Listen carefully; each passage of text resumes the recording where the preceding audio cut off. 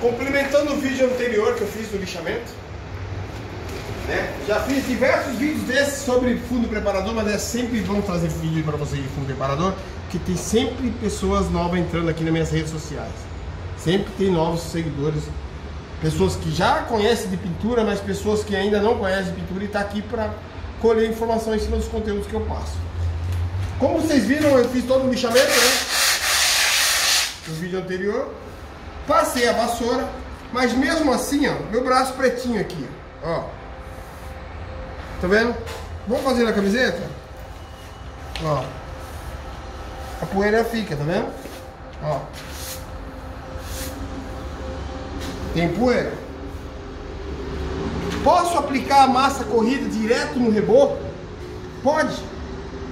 Não é, é não é errado, mas eu recomendo aplicar o fundo preparador. Ela vai dar mais ancoragem. Eu já fiz o teste. Aonde eu passei massa corrida sem fundo, sem nenhum tipo de fundo, e aonde eu passei direto no reboco, quando eu passei a espátula, ela sai mais fácil. Então vamos dar um ponto de ancoragem, vamos melhorar. Ó, vamos aglutinar essa areia toda solta que tá caindo aqui, ó. Ó, tá vendo? Por mais que eu varria, ó.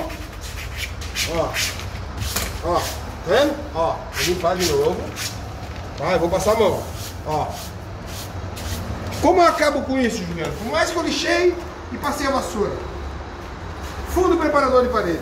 Temos aqui, ó. Vou mostrar pra vocês a aplicação. Tá? Vou jogar um pouquinho. Esse, esse produto aqui ele pode, ele pode ser diluído, tá? Vou jogar só um tiquinho pra vocês verem.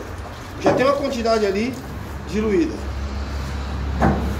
Ele parece um leite, tá? Vou pegar o próprio extensor aqui, ó. Tá, lixadeirinha. Demo única, tá pessoal? Não tem necessidade de dar duas demãos, não tem. E aí, ó. Tá escorrendo, que ele é meio chatinho para trabalhar, tá? Ó. Você vai puxar de baixo para cima. Tá vendo? Ó. É a forma mais fácil de você trabalhar com o preparador. Prende na base de resina. E assim você vai pegando. Vai levando.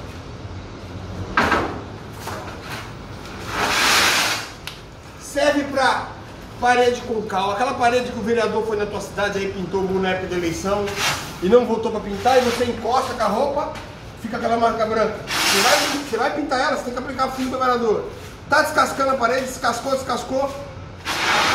Quer prender as partes soltas, aglutinar, fundo preparador. Gesso, fundo preparador.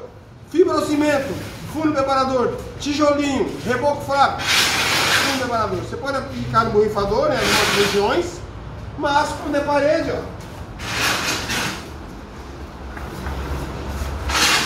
Rolo. Feito isso, após a secagem, vocês vão ver no próximo vídeo eu entrar com a massa corrida roletada, rolada, enfim. Tá vendo? Olha a diferença da parede, mostra pra eles aí.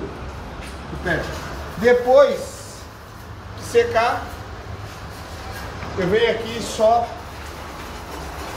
aplico a massa, ou até pintura, vamos supor que o cara quer que só pinta aqui direto. Ele vai colocar um painel de madeira aqui. Você pode pintar por cima, porque já está com uma demão de fundo, entendeu? Deu para entender? De verdade? Então deixa teu comentário aí, fala o que vocês acharam desse vídeo. Valeu, é nóis, até o vídeo da massa corrida que eu tô voltando aí. Valeu!